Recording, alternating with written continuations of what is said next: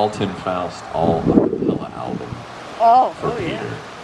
Uh, and let him release it through Legendary Vocals and all that. And I think we just stumbled upon our title, Magic in My Mouth. I'm gonna text him after the show and see what he thinks about Yeah, test market that name. It should be that. fun. It went over well here, that's all that matters to me. I'll be like, oh, what is We look like, if you open our pantry door at home, we look like doomsday preppers because of all the Buc-ee's. Like every time we get the pizzas, there's just like towers of Buc-ee's. to me. We look like we're the ones preparing to open the new Buc-ee's in Tennessee is what we look We like. probably could. There's a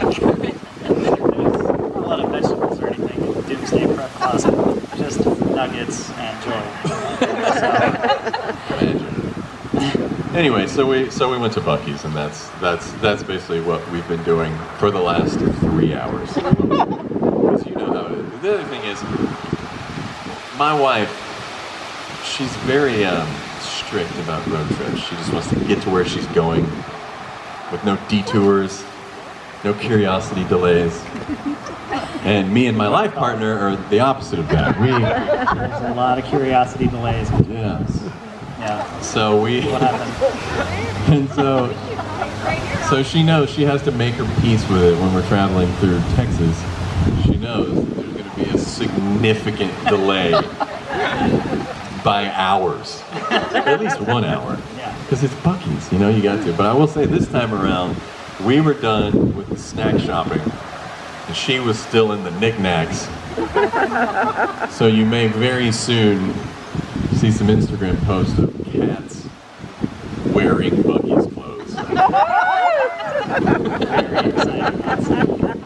Speaking of Instagram posts, my dog's alive, idiots. thank you. Thank you for your concern. That was that was that was parody. She was making fun of the Sarah McLachlan commercial. Y'all remember that, right?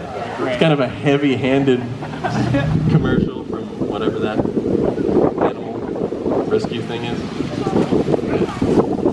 He's he's I, I mean I don't know. Anything could have happened. He was alive yesterday when I left Nashville. He hasn't called or anything, but I think he's fine. If we if if I repost if I repost if I re Instagram, re story, whatever the hell it is, her thing, when I get home, you know something went south while we were here in Texas. Y'all are so serious. anyway, Satch is fine. And I have Bucky, so everything's right in the world, I think. Got his priorities straight. Yeah. Maybe fine. Got Buc-ee's. Ginger, can I t- tell these people our news? Is that okay? Are you sure? is- I think if it was no. Like, Yeah, well, it's fine. If she said no, we'd move on, and all these people would just have to wonder. Go on. All right. Uh, so, uh, what? How, you, you- how do we not know Ginger? Is that that, that have a comma in it? Because I can introduce you to Ginger. Ginger Ginger. Um, so, uh, uh, creativity and collaboration happens in all different forms, and sometimes it happens in, in very surprising ways. And um, as many of you know, I'm on a service called Starsona.